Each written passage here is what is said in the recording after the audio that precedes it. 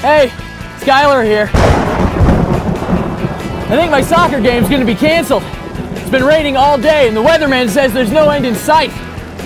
One thing that can be confusing about measurements is when you hear your neighbor say they checked their gauge and we received two and one fourth inches of rain or nine tenths of an inch of rain, while the weatherman says we got 2.25 inches or 0.9 inches. When measurements are reported differently, it's hard to compare them. Now I'm gonna go get my trusty rain gauge and we'll get another problem solved. Wow, there's even more in here than yesterday.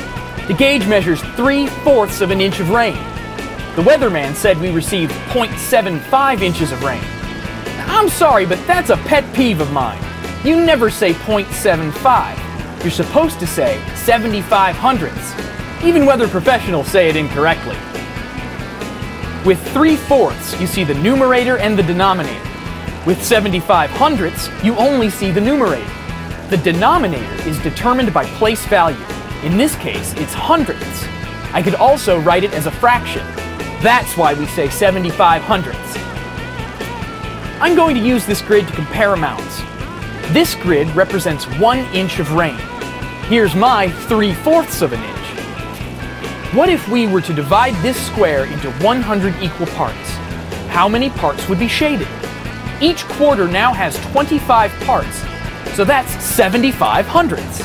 They're exactly the same amount.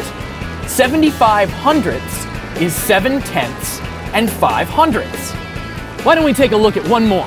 The weatherman says that the airport received 0.8 8 tenths of an inch in one hour. It must have been a downpour. Check this out. Remember what I said about the place value being the denominator for decimals? 8 tenths can be written as 8 tenths. If you use a grid divided into 10 parts, we can shade in 8 columns to represent the rain. I always keep this in mind when I'm working with decimals and fractions. Make sure I don't get soaked. That's another problem solved!